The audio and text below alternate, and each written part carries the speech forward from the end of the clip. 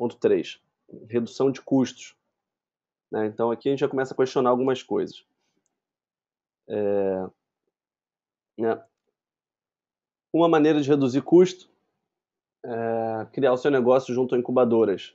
Né? Incubadoras, a gente tem no Brasil mais de 400 incubadoras, é, grande maioria delas é, associadas a instituições de ensino superior, né, a faculdades, a universidades, é, centro de pesquisas e basicamente o nome já diz, né, são lugares para você colocar o seu negócio quando pequeno ainda e que ele vai receber uma ajuda, um suporte para crescer, né? Então, é, normalmente existe um processo de seleção é, onde um dos sócios, pelo menos, da empresa precisa ter um vínculo com a universidade.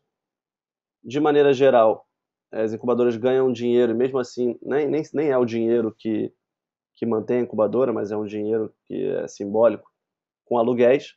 Né? Você aluga o espaço, aluga a sala é, por um valor simbólico, mais barato que o mercado. Algumas nem têm isso, algumas são 100% gratuitas, você só precisa realmente ser aprovado no processo seletivo. É, e fornecem serviços. Né? Então, essa é a grande vantagem da incubadora. Você economiza não só no aluguel, mas com serviços. Você economiza com serviços de consultoria, com serviços de advocacia, com contabilidade. É, você não só reduz o aluguel, mas reduz na quantidade de dinheiro que você ia gastar errando. Então, é muito legal. Tem surgido cada vez mais. É um movimento que no Brasil já é um pouco mais estabelecido, mas que não tem ainda em todas as grandes capitais, pelo que eu saiba. E são processos de incubação que demoram normalmente de seis a três anos.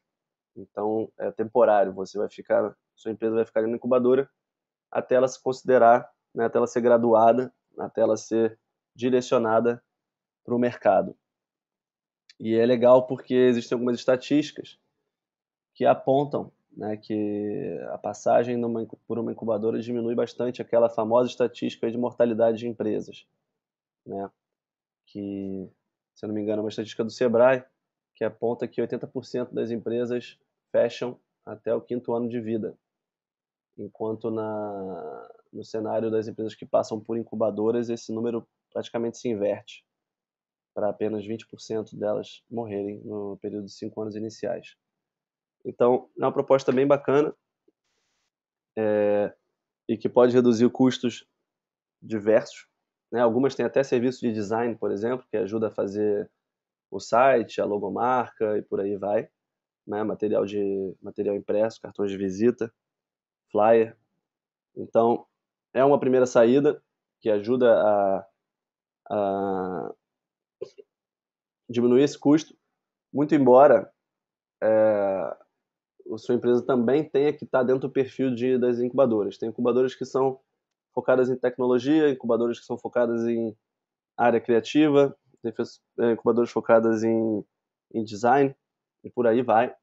Então você tem que é, não só pesquisar as incubadoras, como também achar que tem o melhor perfil para você.